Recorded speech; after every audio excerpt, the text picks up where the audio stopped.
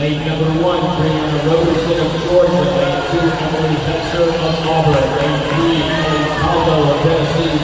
Lane four, the defending champion, Riley Gaines of Kentucky. Lane five, Chloe Santana of Texas A&M.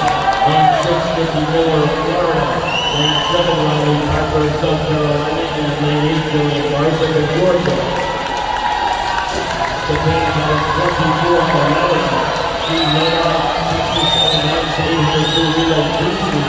with the second fastest time in the nation this year at 142.40.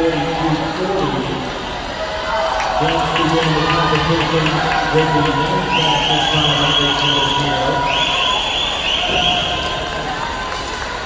The Panthers at a 50.62 followed by Gaines and Caldo.